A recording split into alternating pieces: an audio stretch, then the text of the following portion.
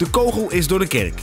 IDT mag met Mysteryland als eerste een festival houden op de heilige Woodstock-grond. Battlewoods uh, Center for Arts is eigenlijk vooral geïnteresseerd in ons en heeft het vooral toegestaan om na al die jaren weer een meerdagsfestival toe te laten. Omdat de kernwaarden, de merkwaarden van ons festival zo overeenkomen met hun filosofie. Zij willen, hebben 40 jaar, meer dan 40 jaar lang grote promoters, grote acts gewoon de deur gewezen. Omdat het dan alleen maar ging om die grote artiest en het publiek voor die grote artiest bijkwam. Nou, als je kijkt naar wat er hier vandaag gebeurt en wat er 43 jaar geleden of 44 jaar geleden is gebeurd in Woodstock, ging het heel erg over uh, vrijheid, mensen bij elkaar brengen.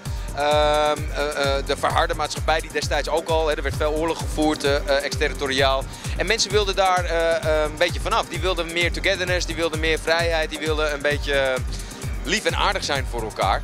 Dat is eigenlijk ook wel eigenlijk niet waar Missyland alleen voor staat, maar waar de hele housebeweging al 20 jaar lang en al wat langer eigenlijk heel erg uh, uh, op gestoeld is. Daarin zie je wel veel parallellen. Dus de vrijheid, het uh, zoeken naar iets nieuws, mensen bij elkaar brengen. Nieuwe gedachten, er komt een nieuwe tijdperk aan, althans volgens ons. En ehm, ja, wij zijn er met Mistyland en, en de 20 jaar historie misschien wel lang bezig. Maar vergeleken bij Woodstocks is dit natuurlijk maar een knullig feestje eigenlijk.